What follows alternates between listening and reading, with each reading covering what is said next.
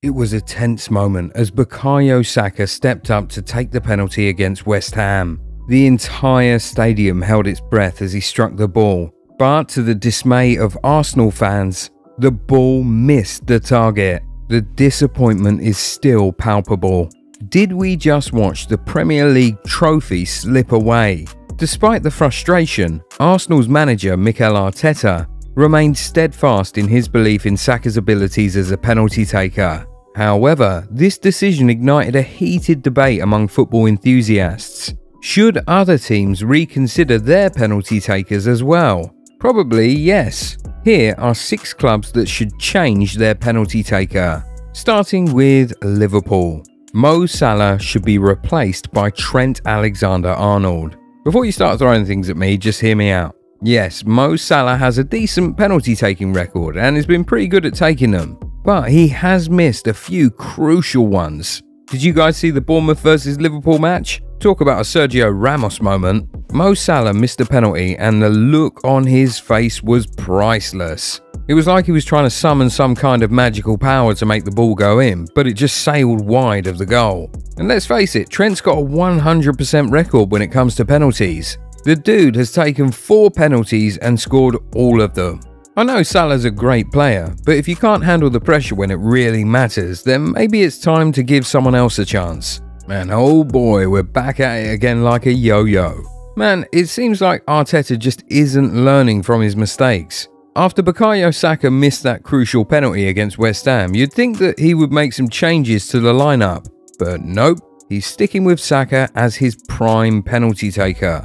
I mean, come on, Arteta, for the love of all that is holy, just please make a change. Give someone else a chance to shine, like maybe Xhaka or Jorginho. They have a better track record when it comes to penalty kicks, so why not take advantage of their skills? It's like watching a bad movie over and over again.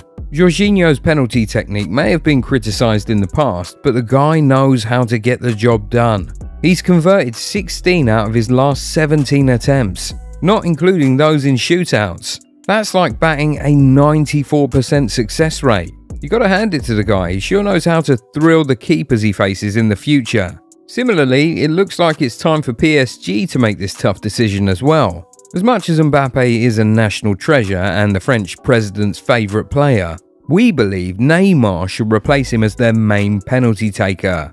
Sure, Mbappe has a decent success rate, but Neymar has a career record of 74 scored to 15 missed. Plus, we all know Neymar loves a good dive, so he'll be extra motivated to earn those penalties. And let's be real, Mbappe needs to learn to share, especially when it comes to the ball. Maybe a bit of competition will do him good. So come on, PSG, make the right call. Plus, let's not forget last year's incident where Neymar dismissed Mbappe and kept the ball to take a penalty, which he also scored.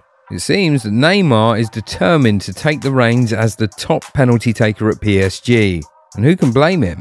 Moving to Italy, it appears that Kvaratskhelia penalty taking skills are as shaky as his name. The Napoli defender has only converted 60% of his penalties, and former Napoli defender Maurizio Domizzi last year reiterated that it's time for a change. Enter Victor Osimhen, the striker who could be Napoli's penalty saviour. Domizzi could not understand why the Nigerian striker wasn't given 100% penalty duties. With a solid record and killer instincts in front of the goal, Osimhen seems like the obvious choice.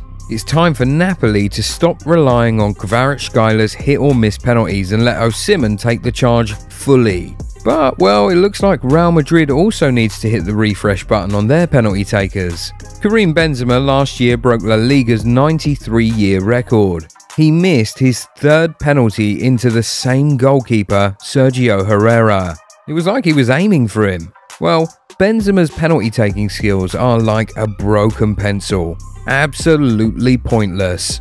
Maybe it's time to pass the torch to someone else. Luka Modric seems to have a pretty good record with penalty shootouts. He's converted all three of his penalties in World Cup shootouts, taking down Denmark, Russia, and even Brazil.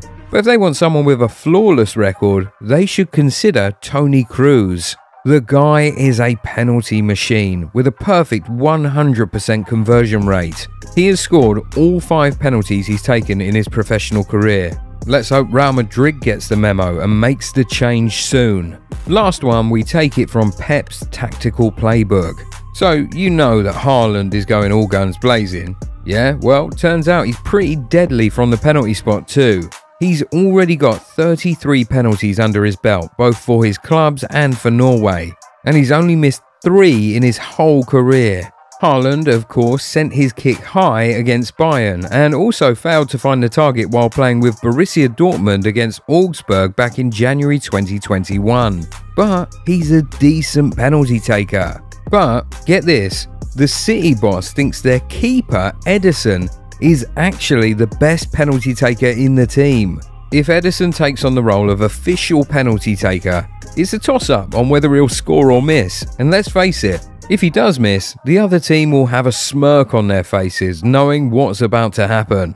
It's almost too tempting to resist. But hey, maybe that's the thrill we need in the game. Who needs Haaland when you have Ederson and a 50 50 chance of either team scoring the goal? So it's time to change the penalty takers. Some clubs need to make a move and do it sooner than later, because missing from the spot can cost them dearly. Better find someone who can score it clearly. While you're at it, please like the video if it's informative.